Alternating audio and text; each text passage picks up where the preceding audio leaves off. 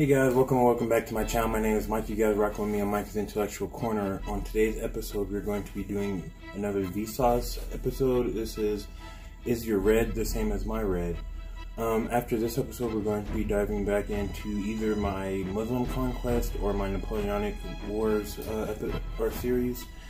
And also, guys, please, please, please don't forget to go check out my new uh, channel that I just uh, created. I posted it on this channel, but essentially it's called Don't Look Back. It's a if you're into anything creepy, scary, anything like that, that's the channel for you. Please help support that channel. Uh, go subscribe, check out the content, especially if you like anything 80s horror. It's a lot of synth wave on there, a lot of uh, 80, a lot of 80s horror overtones. Anyway like I said, though, we're going to go and get into this Vsauce reaction. Let's go and get into it. Hey, Vsauce, Michael here. This appears blue. This appears yellow, and this appears green. Those of us with normal color vision can probably agree, but that doesn't change the fact that color is an illusion. Color as we know it does not exist in the outside world beyond us, like gravity or protons do. Instead, color is created inside our heads. Our brains convert a certain range of the electromagnetic spectrum into color. That kind of makes you think, like, because obviously he's right. Obviously, color comes from our from the light hitting our retinas and all that stuff. So, kind of makes you think, like, what's the true color of the Earth? Is it like you know what I'm saying? Is it just a lot of gray shades and stuff? But then again, even grays are even gray is a color, so it's like you know what I'm saying? It's kind of it's kind of weird to think about. The electromagnetic spectrum into color. I can measure the wavelength of radiation, but I can't measure or observe the experience of a color inside your mind. So how do I know that when you and me look at a strawberry, and in my brain, this perception occurs, which I call red, that in your brain, a perception like this doesn't occur, which you have, of course, also learned to call red. We both call it red, we communicate effectively, and walk away, never knowing just how different each of our internal experiences really were. Which is really crazy to think about. Um, think about that, because um, think about it, that you can't really explain. I guess a color. I guess if you think about it, like me explaining what's the color of this, uh, you know, this like little uh, pumpkin thing. It's beige or brown, but what color is brown? You know what I'm saying? Um, I can say I'm brown. Uh, the earth is brown. Um, you know what I'm saying? Like, but what is that to a blind person? It's nothing. You know what I'm saying? So it kind of seems impossible. It's kind of weird and eerie to think about. But I don't know. Her internal experiences really were. Of course, we already know that not everybody sees color in exactly the same way. One example would be color blindness. But we can diagnose and discuss these differences because people with the conditions fail to see things that most of us can. Conceivably, though, there could be ways of seeing that we use that cause colors to look differently in different people's minds without altering their performance. Now, with that being said, too, I know that there is a woman. Um, I know there's probably a few people, but it's like a, it's not a disease. It's like a, um, it's like a trait or something. But I don't think it's passed down either. It's just like it's one of those rare things where somebody's um, I think it's called tetra tetrachromacy or something like that. If you want to look it up. But essentially, it's like it, it, allows somebody to see colors that not everybody else can see. So it allows somebody to see like hundreds, if not more, thousands of more colors than say you or, or I could see. Which is kind of crazy to think about too. Like, how does that work for their brain? You know what I'm saying? How does that work for their eyesight, for their retinas, for all that. It's just all that. Different people's minds without altering their performances on any tests we could come up with. Of course, if that were the case, wouldn't some people think other colors looked better than others, or that some colors were more complementary of others? Well, yeah, but doesn't that already happen? This matters because it shows how fundamentally, in terms of our perceptions, we are all alone in our minds. Let's say I met an alien from a faraway solar system who, lucky enough, could speak English, but had never and could never feel pain. I could explain to the alien that pain is sent through A delta and C fibers to the spinal cord. The alien could learn every single cell and pathway and process and chemical involved in the feeling of pain. That could really go for any kind of sense if you think about it, though. Really, because I mean, again, me explaining to some think about it, me explaining to somebody who has no sense of, touch anymore. Me explaining to them, hey, um, you know, this, you know, this feels really gritty, or what does gritty feel like? Rough. What does rough feel like? You know what I'm saying? It's just one of those things where it's like you would have to keep going down a, a almost deeper rabbit hole, or to say of explain explanations because you just you have to explain what that next thing feels like or is or whatever you know and pathway and process and chemical involved in the feeling of pain, the alien could pass a biology exam about pain and believe that pain to us generally is a bad thing. But no matter how much he learned, the alien would never actually feel pain. Philosophers call these ineffable, raw feelings qualia. And our inability to connect physical phenomenon to these raw feelings, our inability to explain and share our own internal qualia. And that gap can really go for anything if you a lot of things, not really anything, but a lot of things, because somebody who has like lost their feeling in, you know, all their feelings, their taste, their touch, their sense of hearing, their sight, all that. Try to explain, some, you know, according, you know, you get to through that type of, um, you know, uh, communication gap. But try explaining that something like anything to that person. Like, how does what does anything feel like? What does anything taste like? You don't anything that you describe to them is just another feeling. It's just another, you know what I'm saying? So it, yeah, I think that can go for a lot of different things. In my opinion, I don't know. Let me know, guys and share our own internal qualia is known as the explanatory gap. This gap is confronted when describing color to someone who has been blind their entire life. Tommy Edison has never been able to see. He has a YouTube channel where he describes what being blind is like. It's an amazing channel. In one video, he talks about colors and how strange and foreign of a concept it seems to him. Sighted people try to explain, for instance, that red is hot and blue is cold. But to someone who has never seen a single color, that just seems weird. And as he explains, it has never caused him to finally see a color.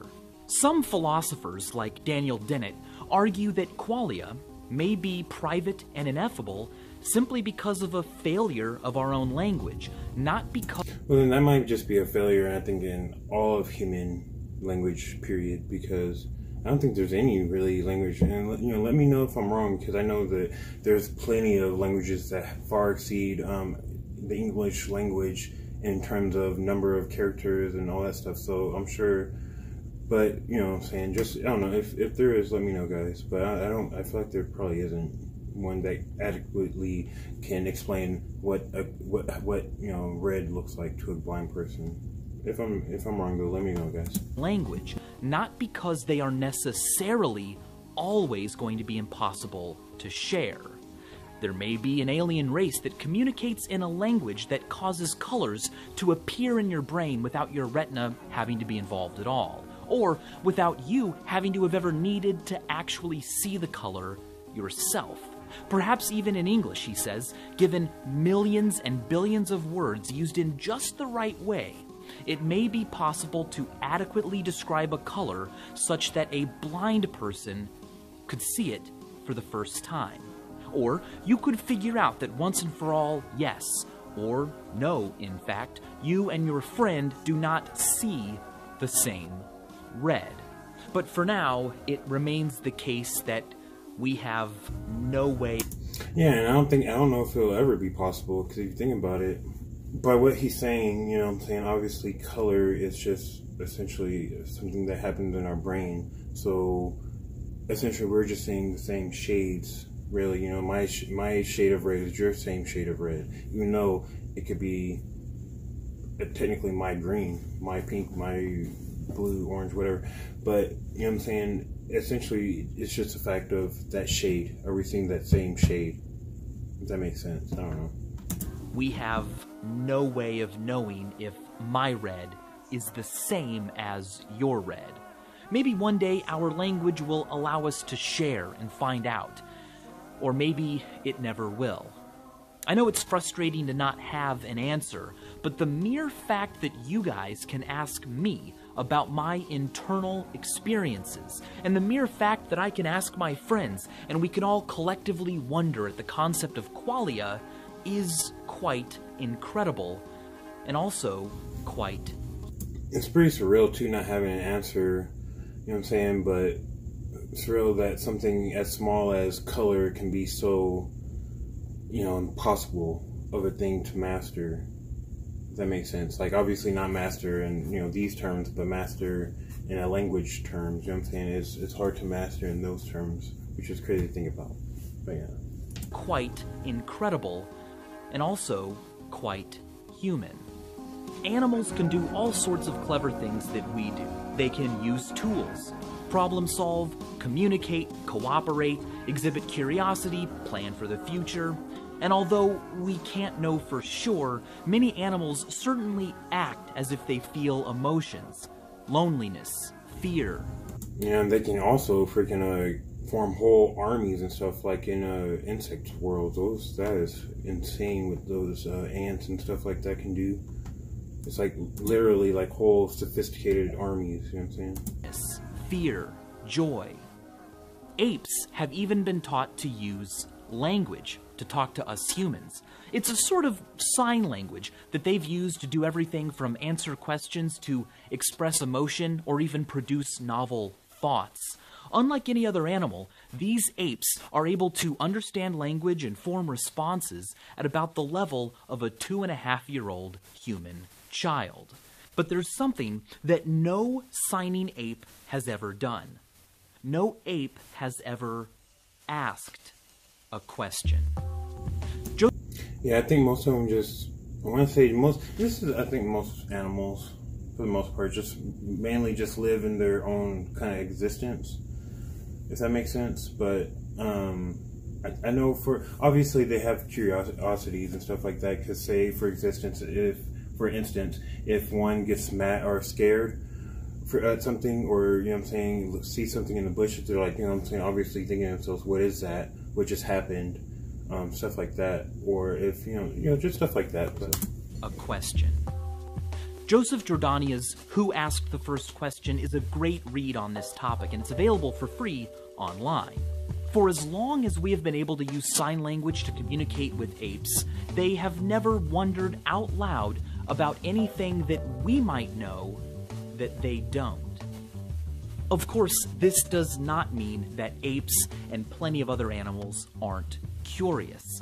They obviously are. But what it suggests is that they lack a theory of mind, an understanding that other people have separate minds, that they have knowledge, access to information that you might not have.